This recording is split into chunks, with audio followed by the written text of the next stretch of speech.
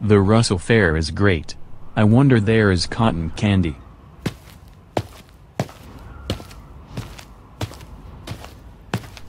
Um, how can I help you at the treat truck? Well, Team D will get cotton candy today. I'm sorry, there is no cotton candy here. He's making cotton candy at the treat truck. But how about we go on some rides? Sure.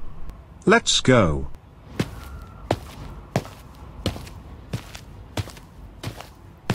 Look, there's a Ferris wheel. Let's go on this Ferris wheel. Uh-oh. The toys blew away, and the stand blew away. That's terrible. I gotta run back to school. Wait. Come back. It's just a hurricane. What? I'm so scared. Take shelter. Fine. We're going back to school. Great idea, man. I better hurry. There's a thunderstorm.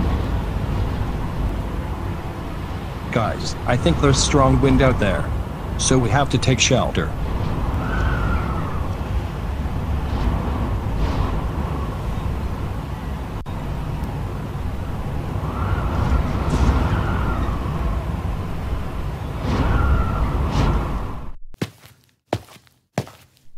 Okay.